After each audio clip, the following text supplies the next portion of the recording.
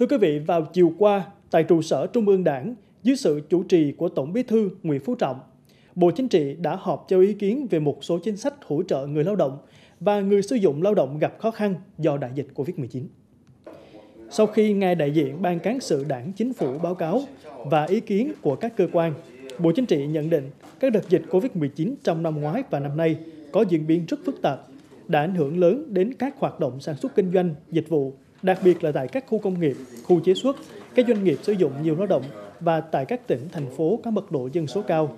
khiến việc làm, đời sống thu nhập của người lao động bị ảnh hưởng nghiêm trọng.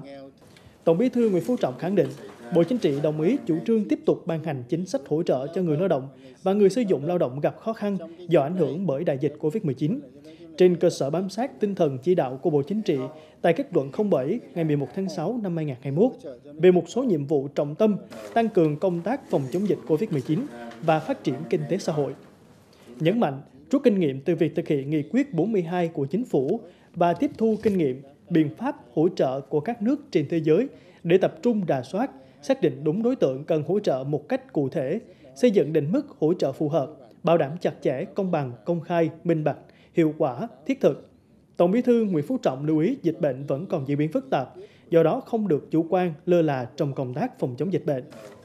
Tổng Bí thư Nguyễn Phú Trọng khẳng định, lâu nay, Đảng và Nhà nước luôn quan tâm và có nhiều chính sách kịp thời hỗ trợ các đối tượng khó khăn, yếu thế, người nghèo, người có công với cách mạng. Riêng lần này, Bộ Chính trị đồng ý chủ trương của chính phủ hỗ trợ người lao động và người sử dụng lao động gặp khó khăn do đại dịch Covid-19.